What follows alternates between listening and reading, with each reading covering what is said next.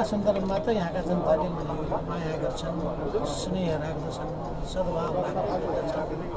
त्यस हुनाले उहाँहरूको माया प्रेम सद्भावबाट म आह्लादित छु त्यो म बिर्सिने कुरै भएन त्यसैले पनि मलाई समग्र बढी डोर्यायो मायाले डोर्यायो किरतले डोर्यायो र मलाई यहाँले उत्साहित हुनुहुन्छ। उत्साहित छु र यहाँका जनताले अवश्य पनि मलाई अत्यधिक मतले विजयी बनाउनु हुनेछ भन्ने मलाई पुरा विश्वास छ।